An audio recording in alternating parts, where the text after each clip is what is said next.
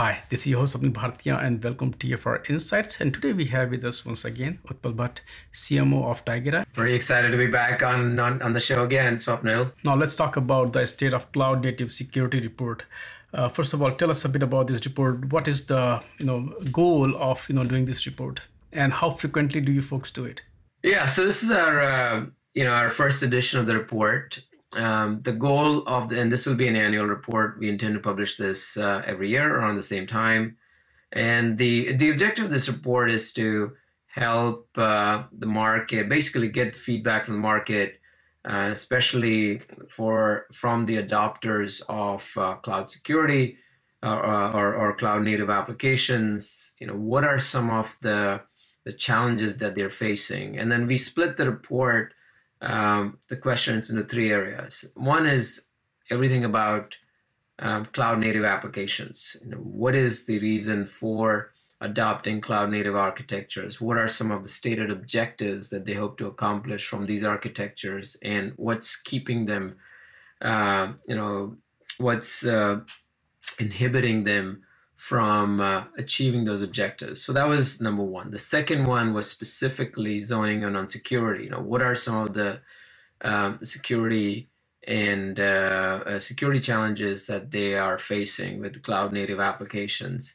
And then the third part was about compliance. You know, what are some compliance uh, challenges that they their organizations are facing? So the survey was sent out to uh, over 300 respondents, and uh, we are super excited with the insights we were able to glean from that survey report. What were the either more, you know, kind of you're expecting that, hey, this is what is already the trend that you see in the space, but then there was certain thing that you were not expecting, and that's what the survey revealed. What was those those things? Yeah, you know, I think the there were quite a few surprises uh, from the survey. We knew, I think, you know, because we've been in this business for some time, we've been talking to a lot of customers and prospects. We knew that, you know, it's a, it's not a slam dunk. In other words, uh, you know, adopting a security cloud uh, cloud native application architecture does present uh, a lot of uh, uh, both the volume and the newness of the challenges. You know, it's the because it's a brand new architecture. Some of these challenges they don't apply to traditional uh, monolithic architectures. And so we knew that there was always going to be, you know, security and compliance challenges. So what um, was very surprising is the scale uh, of these challenges. Um, and as you can see, you know, when it comes to the report, uh, a significant number of people, and it was almost, uh, you know, 70. So in, in terms of uh, people who are running into this, right, there are about uh, you know, 87% of companies, for example, stated that uh, they have uh, challenges with uh, compliance requirements, right? We had companies. Uh, the other other uh, surprise was the uh, companies that stated the source of these challenges, right? So observability. Ninety-seven percent of the companies stated that you know it's observability, the fact that they're not even even able to see how these components are interacting and, and rightly so because a lot of these components live for a few minutes and then they disappear and, and they are all over uh, in terms of clusters. So that not having that sort of visibility uh, translates into like not being able to secure uh, the application. And uh, you know almost uh, uh, the the number of number of organizations that also stated that uh, you know 96% of the organizations said that security compliance and visibility is the most uh, challenging aspect of cloud native application. So for us uh, what was surprise was not the challenge itself but the scale of the challenge and i think that was the biggest surprise.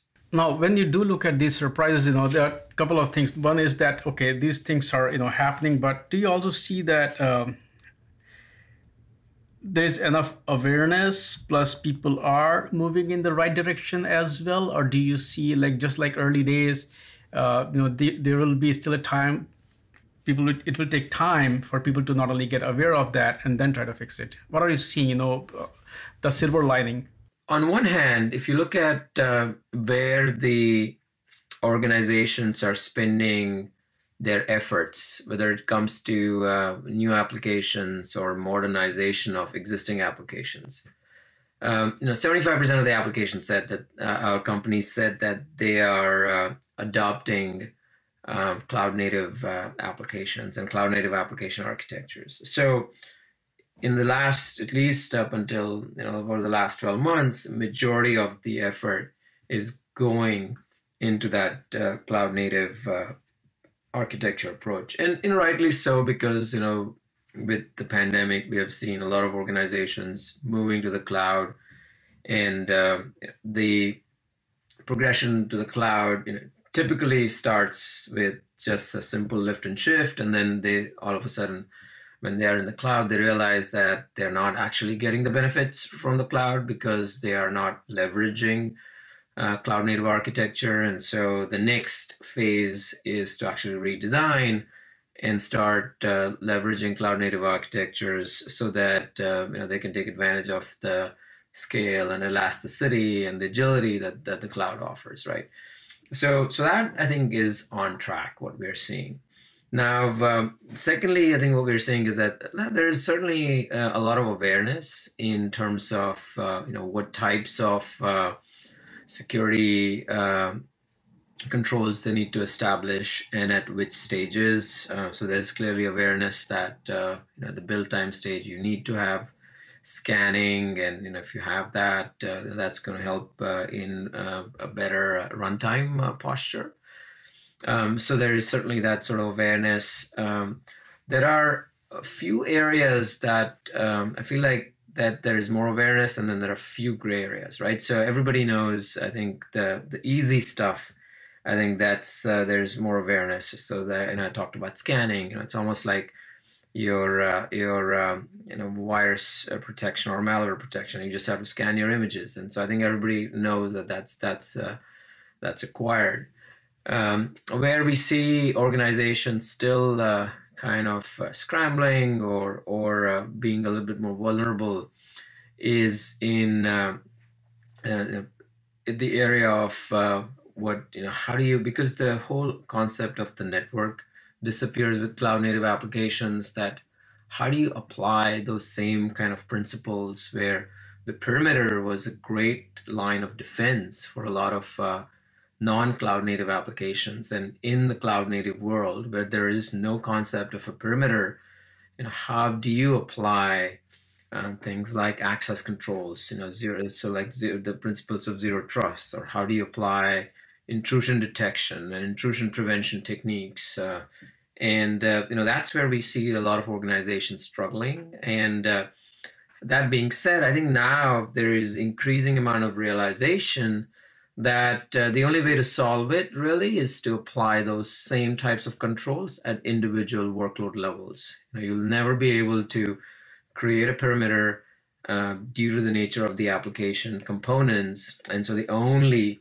real way to do it is to apply those controls at the workload level. And I think that that is uh, something that uh, you can see from the report that organizations are definitely accepting that as the uh, best way to to uh, secure cloud native applications. Is there also some kind of misconception because as more and more people move to the cloud they do feel that cloud will solve all of their problem but the reality is that you know it does as you say it offers elasticity it does offer a scale but it doesn't solve a lot of other problems whether it's securing your workload application you know or, or, or other things. So what did you notice there? Because that's where you know uh, players like Tigera come to help folks yeah yeah that's a great question you know i think there's definitely a realization that uh, you know while cloud brings a lot of benefits. It also brings introduces a lot of complexity, and you cannot uh, rely on the cloud platform